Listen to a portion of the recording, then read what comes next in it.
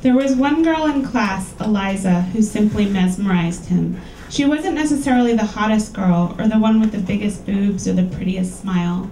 She wasn't nearly as flashy as some of the other women he went to school with, but something about her, from her old fashioned name to the things she wore little cardigans decorated with flowers or sparkly bits that always caught the sun, to the way she held her pen, her fingers resting atop its length as opposed to wrapped around it like everyone else. Yes, he'd noticed even that. Made him want to talk to her.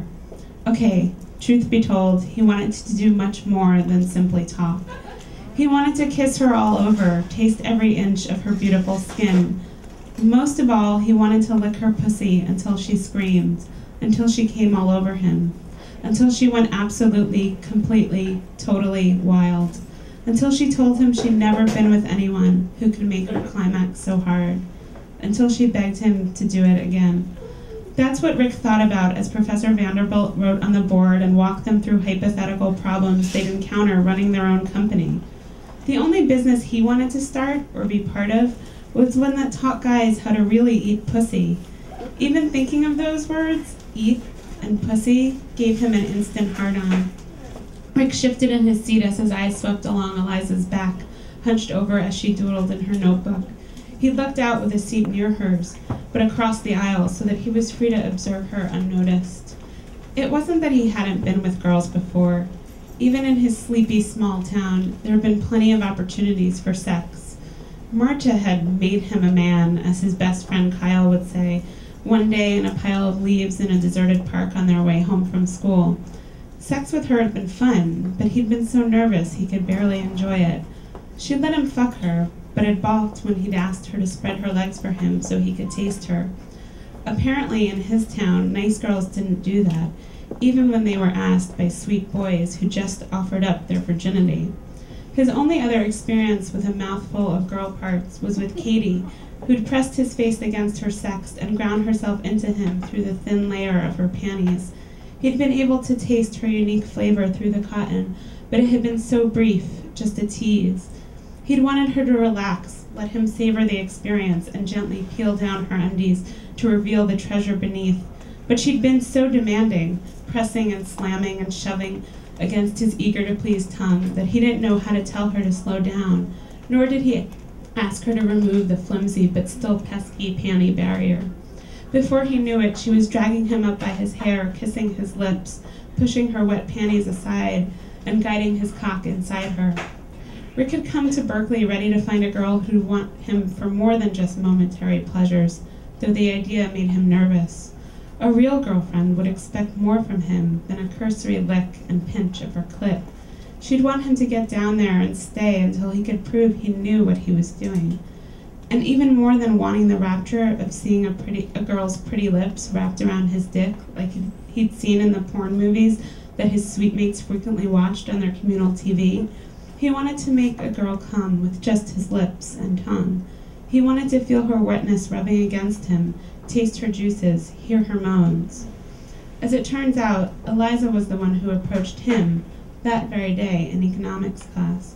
She stood in front of his desk as he gathered up his belongings, giving him a start when he realized that the girl of his dirty dreams was right in front of him.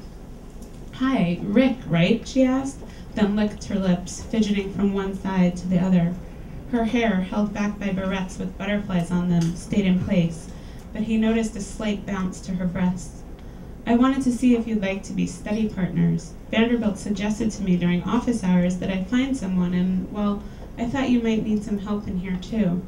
She looked at him with wide, hopeful eyes, eager for his approval. He stared back, trying to see if she meant more than simply mastering means and medians and stock market prices. He wasn't sure, but his dick seemed to answer for him. All right, I I'm gonna skip ahead a little bit. Hello Kitty is distracting me. Um, okay, I'm gonna skip to the end, but don't don't let that stop you from buying this book and reading the whole story. As Eliza lay on her back, Rick dove in. At first, he barely tasted a thing because he was moving so fast. It was as if he was swimming, kicking his legs slightly in time to his mouth actions, while his fingers laid her open, trying to make up for lost lessons, cram semesters into minutes as he sought her sweet spots. She didn't sit up and lecture him, pointing to where their bodies joined to demonstrate what she wanted.